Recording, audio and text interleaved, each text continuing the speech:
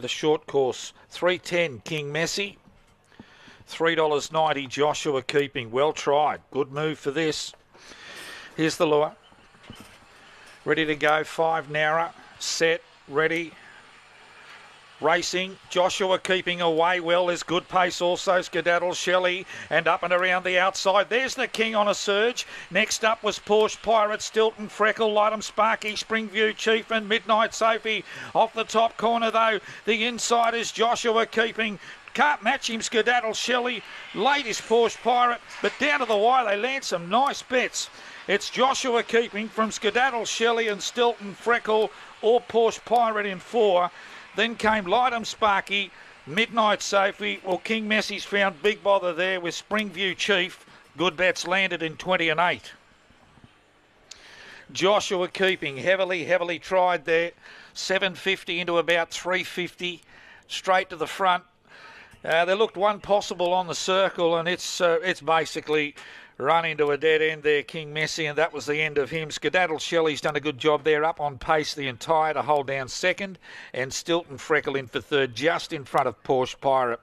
20 and 84, 12 19, 865, 2713, more to follow.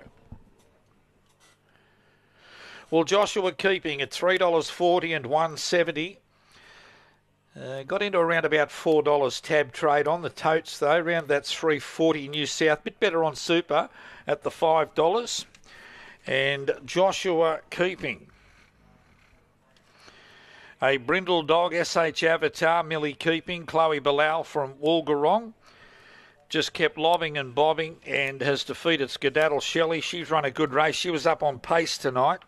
Barcia Bale, Senorita Ava and she was there right to the wire. She was only a length and three quarters astern, and then three quarters away was Stilton Freckle, Phil Goodsall, Haley Bolwell, Stilton Blue, Stilton Gold. 865 opening fraction, 12.19 the run home, one and three quarters by three quarters the winning margins. All right, uh, Joshua keeping certainly began well. Stilton Freckle got out as well. And Skedaddle Shelley, she uh, really surged forward and she was up with Joshua keeping. Now, King Messi, he was up running third at that stage. And yeah, he just ran into the back of Skedaddle Shelley, and that was the end of the penny section. He was shuffled all the way back to third last, and Joshua keeping just slingshotted off the, uh, corner, and uh, was too good for Skedaddle Shelley, Stilton Freckle, and Porsche Pirate.